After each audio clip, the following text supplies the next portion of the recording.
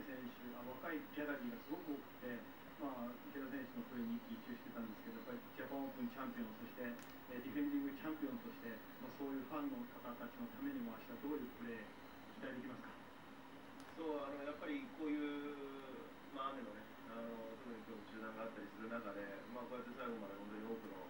ギャラリーの方、またファンの方に、あの声援があるからこそ、まあ、頑張れるっていうのもあると思います。あ明日はねあのまあ、この3日間の、特にまあこの2日間のね、えー、17分、はい、ですからこうタッチが合っていないっていう感じはないんですよね。そうですね。ですから逆にバーディーチャンスもう少し短い距離のバーディーパットに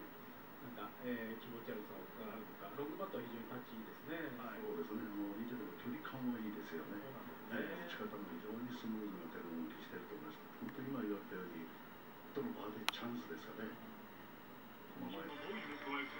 れが効く。痛みと戦う医薬品。キューピーコンはトンボの磯。